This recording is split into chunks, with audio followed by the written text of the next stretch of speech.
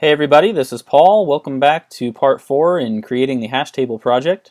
So I know it's been probably about a month and a half since I uh, worked in this uh, hash table project series here, but I've been incredibly busy and uh, I just haven't had time. But I've got a lot of time this weekend, so I should be able to go ahead and finish this uh, project for you guys. But anyway, I was looking at some of the stuff I did um, in the first few parts, and I just want to change a little little bit of what I did. And so what I want to change is the way I'm defining this table size right here. So in our hash.cpp file, um, right now we're defining the table size in our constructor.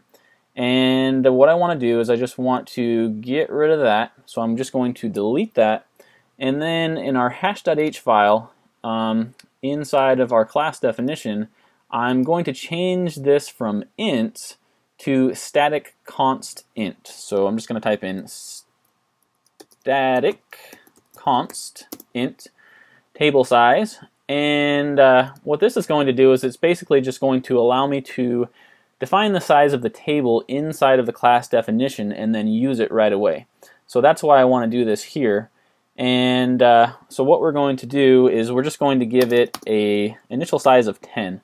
So before we, were, we had a size of 100 for uh, the previous examples, but now I want to start displaying some of the stuff to the screen, so I think it will make more sense to have a smaller table size just for illustrative purposes so you guys can see what's happening.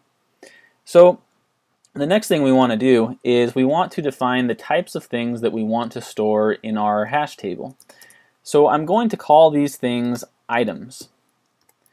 So we'll just call it item actually.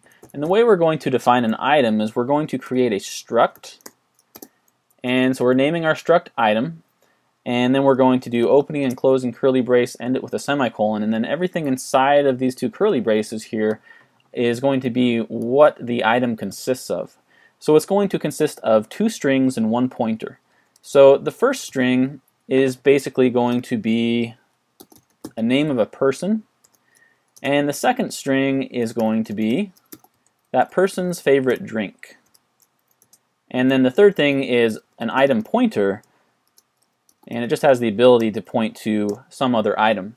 So every time we type in the word item now, the program knows that we're talking about some object that contains a name, it contains a drink, and it has the ability to point to some other item.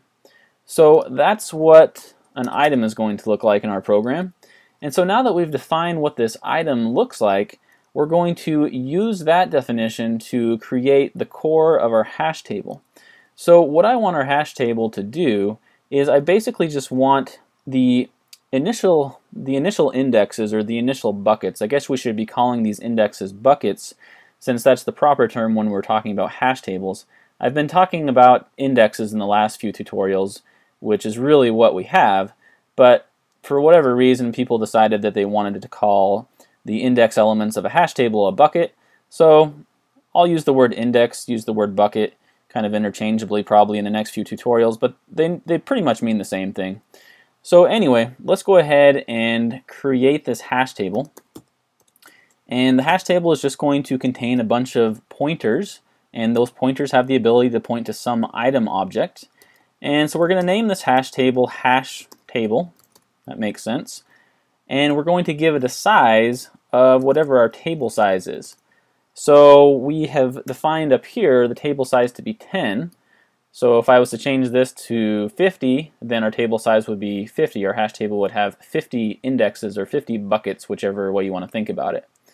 So what we've done here, we've basically defined what an item looks like and what it contains, and then we've defined the, the core of our hash table. It's really just an array with table size amount of buckets, and table size happens to be 10 right now, so has 10 buckets, and each of those buckets contains a pointer that has the ability to point to some item.